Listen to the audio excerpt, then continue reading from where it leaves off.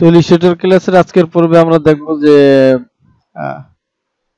আজকে ক্লাসে দেখব chapter five transforming art work তো ট্রান্সফর্মিং ট্রান্সফর্মিং আর্ট ওয়ার্কের ভিতরে কি কি আছে? লেসন ওভারভিউতে আছে add edit rename and reorder art and exciting document তারপর navigation art board work with rulers move, scale, and rotate object using the va- variety method. তো এই চ্যাপ্টারটা অনেক গুরুত্বপূর্ণ। কারণ ট্রান্সফর্মিং আর্টওয়ার্ক বলতে ডিজাইন করতে গেলে একটা জিনিস মানে লোগো ডিজাইন হোক বিজনেস কার্ড ডিজাইন হোক বা যে কোনো ডিজাইন হোক একটা ডিজাইন করার পরে ওইটা ট্রান্সফর্ম করে বা রিপোজিশন করে স্কিল করে নতুন নতুন আকৃতি দেওয়া হয় বা একটা জিনিস বারবার ব্যবহার করে নতুন নতুন করে তৈরি না করে একটা কপি করে করে একই জিনিস সেটা রোটেট করে আহ, বিভিন্ন ভাবে আহ, সুন্দর ডিজাইন তৈরি করে দেয়। তো এই চ্যাপ্টারটা অনেক গুরুত্বপূর্ণ, এই জন্য এটা আমি তিনটা তিনটা করে ক্লিয়ার করার চেষ্টা করব। এই চ্যাপ্টারটা আমি তিনটা টিউটোরিয়াল বানানোর চেষ্টা করব, আমি যতটুকু জানি। আর সবসময় বলে থাকি যে বইতে অনেক সুন্দর এবং অনেক বিস্তারিত দেয়া আছে। যদি বইটা না থাকে, তাহলে অবশ্যই বইটা ম্যানেজ করে নিয়ে যদি দেখা হয়, তাহলে আমার এই ফালতু টিউটোরিয়াল দেখার দরকার হবে না। বইটা যদি করা হয় অনেক সুন্দর এবং অনেক ইনফরমেশন আছে সেটার ভিতরে, বইটার ভিতরে। তো কথা না বলে চলুন, শুরু করা যাক। তো আমরা এই টিউটোরিয়ালটাই লাস্ট পর্যন্ত আমরা মূলত একটা টিকিট তৈরি করব এরকম। টিকিট মানে একটা খেলার টিকিট মতো আর কি। তো এরকম হবে। এন রোডও এইভাবে থাকবে। তো যাই হোক প্রথমে আছে স্টার্ট কীভাবে করব? তো যথারীতি অ্যাডমিনিস্ট্রেটরে যাব, যাওয়ার পরে নিউ নিউতে ক্লিক করলাম। নিউতে ক্লিক করে আমি যদি নতুন কিছু নিতে চাই, তাহলে আর নতুন যদি আর্টবোর্ড নিতে চাই, তাহলে এইভাবে নিতে হবে, কিন্তু আমার আর্টবোর্ড লাগবে না, এই জন্য আমি জাস্ট ফাইল থেকে অ্যাপ্লিকেশন মেনুর ফাইল থেকে ওপেন ওপেন আমার রিসোর্স আছে ইনটা কেমন আছে? ইনটা হচ্ছে এরকম ভিউ থেকে ফিট ইন আর্টবোর্ড আমার এরকম ডিজাইন হবে টোটাল ডিজাইনটা হবে এরকম, যে এটার ভিতরে এটাই ডিজাইনটাই রো সিলেকশন সবই দেওয়া আছে, আর তারপরে আমরা কাজ করব এই স্টার্ট এটা নিয়ে আমরা মূলত কাজ করব এখন। সরি বি থেকে।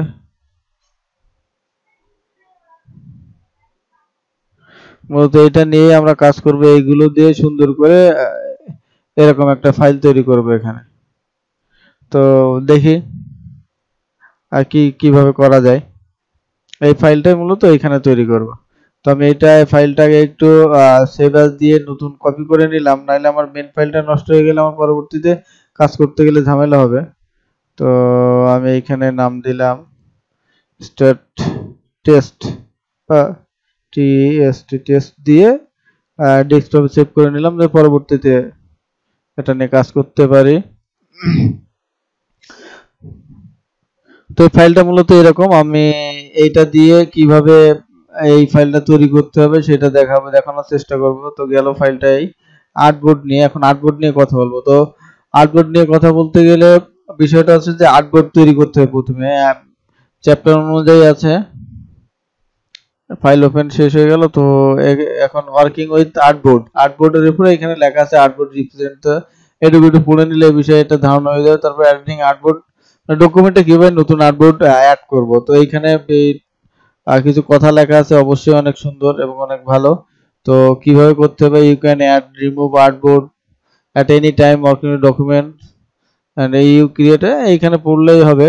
তো আমার দরকার হচ্ছে আর্টবোর্ড তৈরি করা। তো আমি ডান সাইডে এখানে দেখাচ্ছে, ডান সাইডে একটা আর্টবোর্ড তৈরি করব। এখন ফাইলে আর্টবোর্ড আছে কয়টা দেখি। আর্টবোর্ড আছে একটা। তো আমি নতুন একটা আর্টবোর্ড তৈরি করব। তো আর্টবোর্ডটার সাইজ কেমন থাকবে? তো আর্টবোর্ডটার সাইজ থাকবে আমি কন্ট্রোল প্রেস করে কিবোর্ডের প্লাস সাইন প্রেস করলে আমরা জুম করে নিলাম। নিয়ে আমি এটা টেম্পোরারি হ্যান্ড টুল ব্যবহারের জন্য স্পেস বার চেপে আমি জাস্ট এটা একটু ড্র্যাগ করে সাইডে নিয়ে আসলাম যে আমি এখানে কাজ করব তাই। তো আর্টবোর্ড হয়ে গেল। এবার টুল প্যানেল থেকে আর্টবোর্ড টুল সিলেক্ট করলাম। সিলেক্ট করার পরে আমার এখানে মাপটা কি দেওয়া আছে? থ্রি পয়েন্ট টু হবে উইথ আর সিক্স পয়েন্ট হবে হাইট তো থ্রি পয়েন্ট টু আমি ড্র্যাগ করলাম ড্র্যাগ করার পরে আমার এটা হয়নি, আমি এখান থেকে কন্ট্রোল প্যানেল থেকে আমি উইথ হবে কত? থ্রি পয়েন্ট ফাইভ আর হাইট হবে সিক্স হাইট হবে সিক্স তাহলে আমার আউটপুট হয়ে গেল একটা। আর একটা নেব পরে। তো আমি এখন যদি যাই সরি এটা লেয়ার আউটপুটে যদি যাই, আমার আউটপুট টু দেখাচ্ছে এখন। আমার আউটপুট টু আছে, আমি যদি আউটপুট টুতে ক্লিক করি তাহলে আউটপুট টু চলে আসবে সামনে। আমি ডাবল ক্লিক করলে আউটপুট টু সিলেক্ট হবে এবং আউটপুট টু ফিট হয়ে যাবে উইন্ডোর সাথে। আবার যদি ক্লিক করি, তো এটা। এখন আমার এইখানে আর্টবোর্ড কীভাবে কপি করব? তো ভিউ থেকে অল এন্ড ফিট দিলাম। আমি আর্টবোর্ডটা একটু ড্র্যাগ করে পাশে নিয়ে আসি। নিয়ে আসার পরে টেম্পোরারি স্পেস বার চেপে আমি এটা নিয়ে গেলাম। এখন আমার এই সেম আর্টবোর্ড আমার এইখানে তো ডিজাইনটা ছিল দুটো। এই পাশে একটা ছিল, এই পাশে একটা ছিল। কিন্তু আমি এখন তৈরি করেছি একটা। তো এইটা আমি এইখানে ড্র্যাগ করে আবার নতুন একটা তৈরি করতে পারি। সেম মাপে এখান থেকে সেম মাপ ঠিক করে। অথবা আমি ড্র্যাগ করার পরে একলাম আঁকার পরে আমাদের না, আমি এখান থেকে দিতে পারি অথবা আমি এটা কপি করে এই পাশে নিয়ে আসতে পারি। তো এটা কপি করে এই পাশে কীভাবে নিয়ে আসব? তো এটা এই দ্বিতীয় আর্টবোর্ড আর্টবোর্ড টু সিলেক্ট থাকা অবস্থায় আমি যদি এই যে আর্টবোর্ড প্যানেলের আর্টবোর্ড প্যানেলের এইখানে এর নিচে নিউ আর্টবোর্ডে যদি ক্লিক করি, তাহলে একটা কপি আর্টবোর্ড এর একটা সেম মাপের একটা কপি আর্টবোর্ড রাইট সাইডে চলে আসবে। তো রাইট সাইডে ক্লিক করলাম রাইট সাইডে চলে এসে তো এটা অ্যালাইন করে নিতে হবে নিজের মতো করে। বাস এসপন্ড গাইড দিয়ে অ্যালাইন করে নিলাম। পাশাপাশি থাকল বা আমি আর একটু ড্র্যাগ করে দূরে সরে রাখতে পারি। থাকল। তো আমি এইভাবে আর, আমার যখন একটা আর্টবোর্ড নেওয়া হয়ে গেল, বা আমি যদি ওয়ান সিলেক্ট করে যদি এখানে ক্লিক করতাম, তাহলে ওয়ানের মাপে রাইট সাইডে চলে আসতো আর একটা। এইগুলোর স্পেস নেই এখানে আর একটা চলে আসতো। তো আমার দেখা গেলো এটা ভুল করবে, এটা হয়ে গেছে। এবার নতুন ওই আর্টবোর্ড ওয়ানের মাপের সেম আর একটা হয়ে গেছে আমার এটা প্রয়োজন নেই। তুমি এটা আসলে কি করব তখন? তখন দুইভাবে আমি ডিলিট করতে পারি, এই জিনিসটা দুইভাবে ডিলিট করতে পারি কীভাবে? তো খেয়াল করেন আর্টবোর্ডের এই যে কর্নারে এই মাউসের কার্সার খেয়াল করেন, এই যে কর্নারে যে মানে ক্রস বাই এক্স একটা চিহ্ন, আমি এইখানে ক্লিক করি তাও চলে যাবে। আবার আন্ডু দি কন্ট্রোল জেড আবার আমি যদি এই আর্টবোর্ড প্যানেলের এই যে নিচে ডিলিট বাটন এটাতে যদি মানে প্রেস করি তাহলে আর্টবোর্ডটা চলে যাবে। এখন আর্টবোর্ডটা রিয়ারেঞ্জ করাটা কি, জিনিসটা কি? রিঅ্যারেঞ্জ মানে কি? আমার এক নম্বরে আর্টবোর্ডটা এক নম্বরে আছে বা দুই নম্বরে আছে বা আমি সিরিয়াল অনুযায়ী এখানে এই ডকুমেন্ট উইন্ডোতে গেলে দেখা যায় ওয়ান টু থ্রি ওয়ানে ক্লিক করে ওয়ান সিলেক্ট হচ্ছে টুতে ক্লিক করলে টু সিলেক্ট হচ্ছে থ্রিতে ক্লিক করে থ্রি সিলেক্ট হচ্ছে। এখন, এই আর্টবোর্ড ওয়ান টু থ্রি আছে আমি এটা একটু রিনেম করে থ্রি করে দিই আর্টবোর্ড থ্রি বাস আর্টবোর্ড থ্রি এখন আমি যদি চাই এই আর্টবোর্ডটা টুর উপরে নিয়ে যাব তিন নম্বরটা উপরে নিয়ে যাব তাহলে কন্ট্রোল প্যানেলের এখানে একটু নিয়ে যাই। এই কন্ট্রোল প্যানেলের এই যে মানে আপ অ্যারোটা যদি প্রেস করি, তাহলে উপরে উঠে গেল। আবার প্রেস করলে উপরে উঠে গেল। তাহলে এখন তিন নম্বরটাই আর্টবোর্ড একে আছে তিন নাম্বার, দুই আছে দুই নাম্বার। মানে ওর নিচেরটা। মানে বিষয়টা কি হলো? আগে ছিল এইটা এক নম্বরে ছিল, কিন্তু আমি নিচে তিন নাম্বারটা এক নম্বরে নিয়ে গেছি। এখানে দেখেন আর্টবোর্ডের সিরিয়াল আছে এটা, আর এখানে আর্টবোর্ডের মেন সিরিয়াল মানে পিসি ক্রম অনুযায়ী সিরিয়াল এক, দুই, তিন যেভাবে সাজানো হয়। আর এখানে আমি চেনার জন্য আলাদা আলাদা করে দিয়েছিলাম তো আমার এখন যদি এক একে ক্লিক করে এখান থেকে এই যে ডকুমেন্ট উইন্ডোতে গিয়ে যদি আমি ক্লিক করি, যে টুতে ক্লিক করলে তো আমার দ্বিতীয়টা দেখাচ্ছে কারণ এটা ছিল আগে একে কিন্তু আমি আপ এই যে মুভ আপ এই ব্যারোটাকে প্রেস করে করে আমি তিন নাম্বারটা উপরে নিয়ে গেছি। এই জন্য অবস্থা। এখন আমি যদি তিন নাম্বারটা যদি আবার ডাউন আরও প্রেস করে করে দুইতে নিয়ে আসি, তাহলে আমার কিন্তু এক নাম্বারটা আবার একে চলে গেছে। এক নম্বরে দিলে এক নম্বরটা একে। আগে কিন্তু আগে এক নম্বর সিলেক্ট করলে হচ্ছিল তিন নাম্বারটা এখন আবার এই। আমি যদি দুই নম্বরটা যদি সবার উপরে নিয়ে যাই দুই নম্বর এটা। এখন আমার দুই নম্বরটা আছে একে। তো আমি যদি এই এক ক্লিক করি তাহলে দুই নম্বরটা সিলেক্ট হবে। আমি যদি তিন ক্লিক করি, তিন নম্বরটা সিলেক্ট হবে। আমি যদি এক ক্লিক করি আবার, তো দুই নম্বরটা হচ্ছে আগের মতো এক হচ্ছে না। তো এই হলো বিষয়। আর্টবোর্ডটা এইভাবেই এ করা যাবে। আর আর্টবোর্ডটা রিনেম করার এ কি? যে আমার আর্টবোর্ড চেনার জন্য। আমার অনেক সময় হয় কি, এমন যে আর্টবোর্ড অনেকগুলো কাজ করতেছি, কোনটা কেউ খেয়াল থাকে না। দেখা আমি এটা সিটি বল বা এখানে কোনো কিছু বল রাখার যে জালটা হ্যান্ডবল খেলে তো জালটা এটা তৈরি করব যখন। এইটার বোঝানোর জন্য মানে এটার একটা নাম দিলাম, এটা একটা নাম, এটা অনেকগুলো আর্টবোর্ড নিয়ে কাজ করলে। আমি চাইলে আর্টবোর্ডটা রিনেমও করতে পারি। আর্টবোর্ড টু আছে এখন আর্টবোর্ড দেখে গেলে আমি বলতে পারি যে এটা কোট আর্টবোর্ড বা কোনো কিছু। আমি বললাম আর্টবোর্ড বল কোট বল সি ও আর্ট কোড বল কোড দিয়ে দিলাম। জাস্ট আর্টবোর্ডের উপরে ডাবল ক্লিক করলে এইখানে রিনেম মানে লেখার মতো সুযোগ দিবে, অথবা এইখানে এই সুযোগটা নেই, সব কিছু থাকে না। এখন আমি নিউ আমি যদি একেবারে নতুন একটা মানে আর্টবোর্ড তৈরি করতে চাই,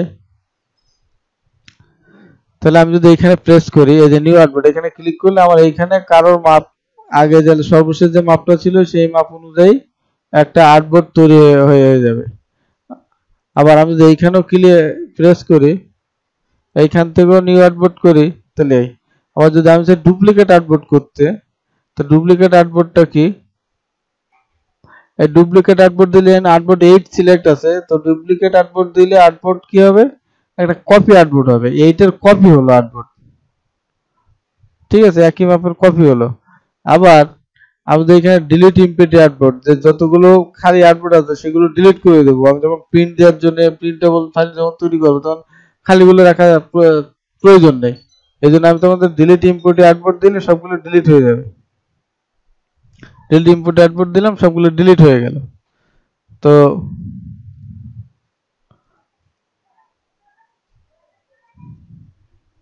আবার আমি সবগুলো একসাথে সিলেক্ট হয়ে যায় তিনটা, যদি ডিলিট চাপি তিনটাই একসাথে ডিলিট হয়ে গেল।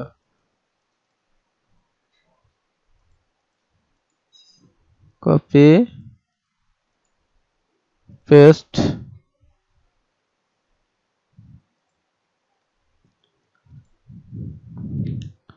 আবার আরেকটা বিষয় আছে এখানে, যে এডিটিং আর্টবোর্ডের বিষয় আরেকটা বিষয় আছে যে, এখন আমি এই যে আর্টবোর্ড তৈরি করতেছি,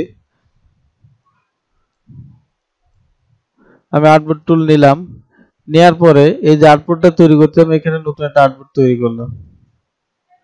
তৈরি করার পর আমি কন্ট্রোল প্যানেলে যদি যাই তিনটা অপশন আছে। শো সেন্টার মার্ক আর্টবোর্ডের সেন্টার মার্ক শো করবে এটার। তারপরে যদি দিই মানে কোরা কোন কোন জায়গা থেকে করবে, এরা। তারপরে যদি শো দিই ভিডিও সেভ দুইটা। এই যে ভিডিওর জন্য কোনো ডিজাইন করলে বা কোনো অ্যানিমেশন ডিজাইন করলে সেটা এটা দেখাবে ভিডিও সেভ এই এইটার ভিতরে থাকলে সেভ ভিডিও থাকে। আর এটা সেন্টার মার্ক এখানে ক্রস মার্ক এই। আর এইখানে আর্টবোর্ড অপশন ক্লিক করলে আর্টবোর্ডের অপশন চলে আসতেছে। আমি আর্টবোর্ডের সাইজ এইখান থেকে করতে পারি, ঠিক আছে? আর্টবোর্ডের সাইজ ঠিক করতে পারি। তারপরে এই শো সেন্টার মার্কেট ওটাই দিলে এটা উঠে যাবে। এইগুলো ওইখান থেকে মানে এইখানে। আবার এখানে দেওয়া মানে সিলেক্ট হচ্ছে। এই দেখেন, আমি এই শো করা সেভ দিচ্ছি এটা সিলেক্ট হচ্ছে। যদি শো সেভ এটা সিলেক্ট হচ্ছে। Video ruler pixel aspect ratio one দেওয়া আছে। আমি যদি টু করে দিই এইখানে তো বিষয়টা কেমন হবে? আমি থ্রি করি, কেমন হবে? তাহলে ওয়ান দিয়ে দিই। ওয়ান দিয়ে ওকে দিলাম, আর বাকিগুলো সব উঠাই দিলাম, কেন এগুলো প্রয়োজন হচ্ছে না আমার। আমি যেটা দেখাবো, যে আমি আর্টবোর্ড দেখা গেলো আমি আর্টবোর্ড তৈরি করলাম, তো আমার এই মিডিল থেকে এটা ডিস্ট্রিবিউট করতে চারি সাইডে সমানভাবে।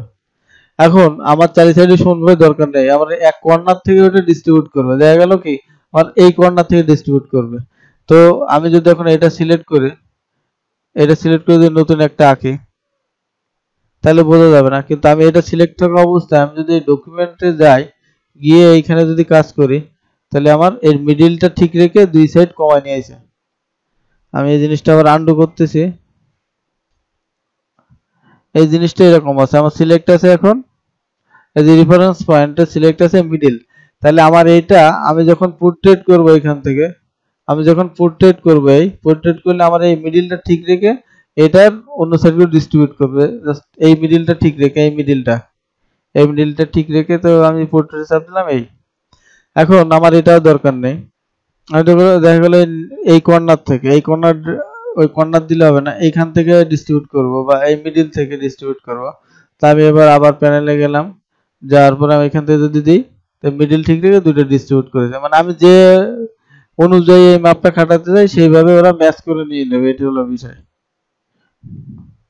আর আর্টবোর্ডের পজিশন কোন জায়গা হবে এক্সপোজিশন কোন জায়গায় এখানে আছে কত?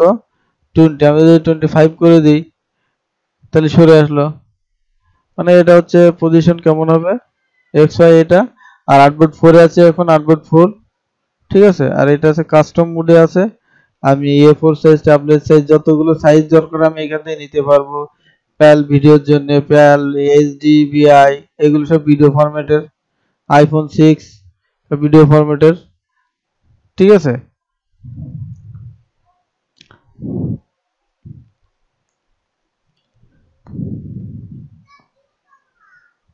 আচ্ছা রিঅর্ডারিং আর্টবোর্ডটা কি? রিঅর্ডারিং আর্টবোর্ডটা বিষয়টা হচ্ছে এমন যে আমি আর্টবোর্ড রিঅর্ডার করব। আমি এই চার নাম্বারে আছি। আমার এখানে আর্টবোর্ড আছে যতগুলো। আমার আছে এখানে আর্টবোর্ড ভিউ থেকে ফিট অল বোর্ড আমি আর্টবোর্ড আছে চারে। আমাদের এখান থেকে রিঅর্ডার করে তিনে আসব, দুই আসব, একে আসব। এইভাবে আবার এখানে গেলে এইভাবে রিঅর্ডার করবে। এটা হচ্ছে রিঅর্ডারিং আর্টবোর্ডের ফ্রন্ট এন্ড আর ডকুমেন্ট সেটআপ তো দেখালামই। ডকুমেন্ট সেটআপ হচ্ছে আমার এই ডকুমেন্ট আর্টবোর্ডটা এই অবস্থায় আছে। আমি যদি ফাইল থেকে ডকুমেন্ট সেটআপে গিয়েও আমি এখান থেকে ডকুমেন্টের ইঞ্চি মিলিমিটার কোন হিসাবে কি আমি এটা সেট করে নিতে পারব। আবার এডিট আউটপুট হয়ে নিতে পারব, আবার ব্লিড দিতে পারব। এটাতে ব্লিড যদি এরকম যদি ওকে দিই, এখন ব্লিড হয়ে গেল সবগুলো আউটবোর্ডের আগে এরকম ছিল না আউটবোর্ডের আলাদা ব্লিড হয়ে গেল। ব্লিড নিয়ে কথা বলছিলাম আগে, এটা এই তৈরি হয়ে গেল। এটা যাইতে হবে ফাইল ফাইল থেকে ডকুমেন্ট তো আর্টবোর্ড নিয়ে এইটুকুই আর্টবোর্ড নিয়েই কাজ করতে হবে, তো আর্টবোর্ডটা কীভাবে কাস্টমাইজ করতে হয়, কীভাবে কাজ করতে হয়, এইগুলো জানা খুবই জরুরি। তো আশা করি মোটামুটি একটা ধারণা হবে, আর বারবার প্র্যাকটিস করলে আরও ক্লিয়ার হবে। তো আমি টিউটোরিয়ালটা এই পর্যন্ত রাখলাম, আর শর্ট করলাম। বিস্তারিত পরের টিউটোরিয়ালে নেক্সটগুলো।